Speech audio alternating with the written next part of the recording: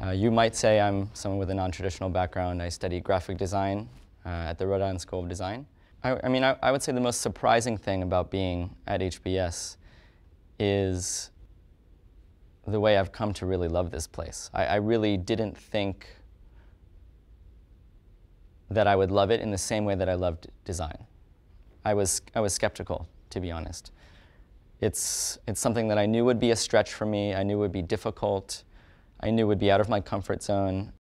Um, but I think the MBA program is doing a fantastic job at opening up its mind to new ideas, especially from design.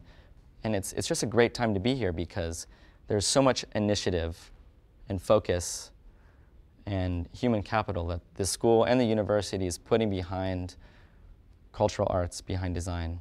It's, it's just really fantastic. And I think, I think where I'm able to really connect with my, my classmates and the professors in the curriculum here is, is it really an entrepreneurship? Because I view entrepreneurship as the meeting point between the creative process and business. I'm really excited for next year. I'm excited to focus on entrepreneurship. And I think it's going to be a great year because this school is so passionate about entrepreneurship as well.